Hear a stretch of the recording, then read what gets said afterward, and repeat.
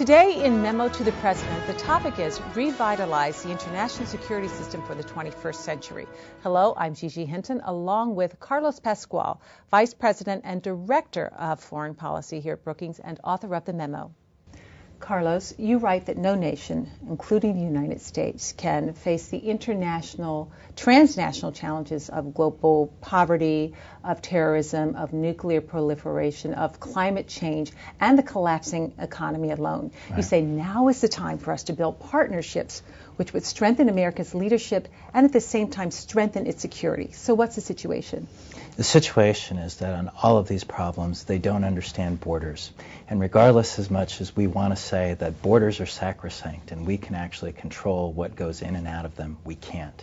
It doesn't matter what we do on our own with that last unit of carbon and whether it crosses into the United States. It doesn't matter what we do on our own to control nuclear proliferation. We need to work together with a network of other countries. And so what we've come to find is that American security is based on working together with others. But what we've also learned is that American leadership in this kind of environment can't depend on unilateral action. It's based on building international partnerships. And so it's that change in perspective on our security and it's a change in perspective on what leadership means that is so critical today. And to that end, President elect Obama has said that the United States is strongest when it stands next to strong partners. Mm-hmm. Now, how is, can this be manifested in his, his terms? It's one of the hardest challenges as well to face, and I think that this is one of the big issues that President Obama is going to face in his new administration. First and foremost, he's going to face an agenda in 2009 which is absolutely fast and furious. He's going to have a G20 summit on economics in April. He's going to have uh, a NATO summit in April. He's going to have a non-proliferation conference in May. He's going to have another meeting of the G8 in July. There's a major climate change conference at the end of the year.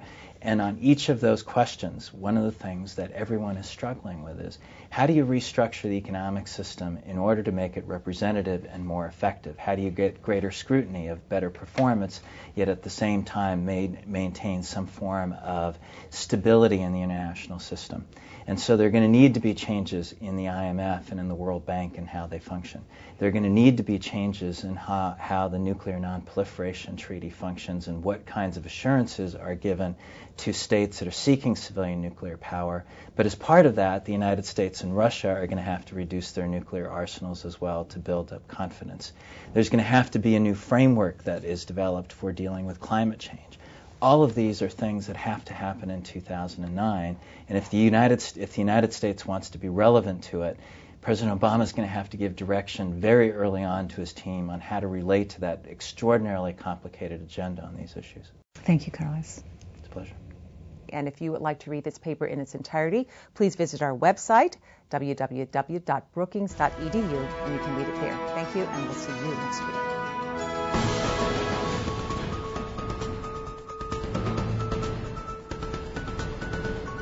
I think that President elect Obama can make us safer at home by continuing to talk and have negotiations with other countries, both um, hostile countries and countries we're allied with.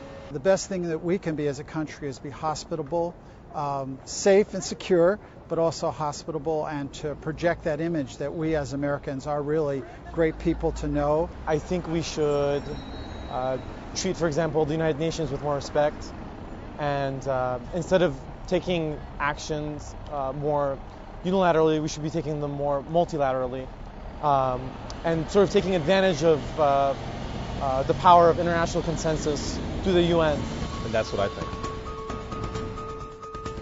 Hello, I'm David Mark with Politico, here today with Stephen Hess, Senior Fellow at the Brookings Institution and author of What Do We Do Now? A workbook for the President elect. Hello, Steve. Hello.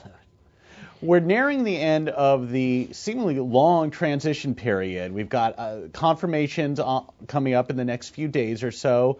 The one that seems the most potentially troublesome for President elect Barack Obama is Eric Holder, his designee for Attorney General. Will Mr. Holder be the sacrificial lamb of sort that we've seen in the past few administrations? well, there always seems to be one Uh, and it's as if uh, it's a tradition. It's, it's the Senate, it's Article 1 of the Constitution, reminding Article 2, the executive, that we're we're a co-equal branch of government, and we we want to show you exactly uh, how you have to squirm a little. and uh, and by and large, the, the the nominee does a little groveling. Uh, and gets through. Rare, but it happens sometimes that he doesn't get through, and that's often enough uh, to uh, to remind people that this is serious business. Turning our attention to the inaugural itself, uh, mm-hmm. just coming up in a very short amount of time. Mm-hmm how should President-elect Obama proceed with, with his speech in terms of how substantive should he be? Should he have a laundry list of policy ideas, or should it be more general? Oh, sure. This uh, the the gold standard was John Kennedy, 12 minutes. Uh, if he goes more than 15 minutes, it will be noted. So you're talking about a very short address. Uh, so you say, hey, what can you say in uh, in 12 minutes. Well, pick a theme. Uh, go back to why you got elected. I wouldn't say remind people what you'd like on a bumper sticker, but nevertheless, it's the same sort of thing. One message uh, is probably the, the what a president-elect has to do. Are there any inaugural uh, speeches in your experience in history that went on too long and probably did not accomplish what the new president hoped to? Well, uh, uh, Barack Obama, in a sense, doesn't really have to worry. Most inaugural addresses haven't been very good. Only about a half a dozen are really memorable, and the one that was least memorable was William Howard, Ta- uh, William uh, Henry Harrison. Uh, and he went on and on and on and on. And it was in the rain. He caught the flu. He died shortly thereafter. Uh, so um, the shortest one, of course, was George Washington. It was only less than 200 words.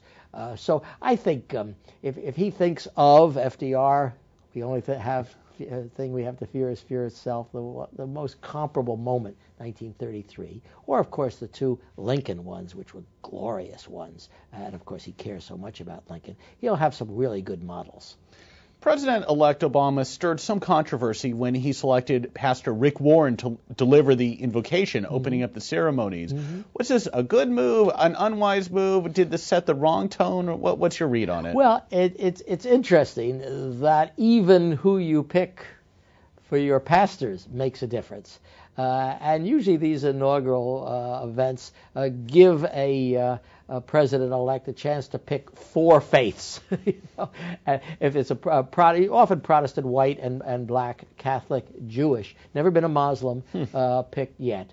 Uh, so this was notable. People noticed because, of course, this was a, a pastor who had strong views on on homosexuality and particularly uh, in California, where there had been a serious uh, referendum. So uh, it was controversial. Clearly, uh, Obama understood it was controversial, so he knew what he was doing. We're out of time for today. Thank you very much. Be a part of the presidential transition. Join our pundits and experts for the Scouting Report, our live web chat every Wednesday afternoon at 1230 log on to www.brookings.edu slash transition.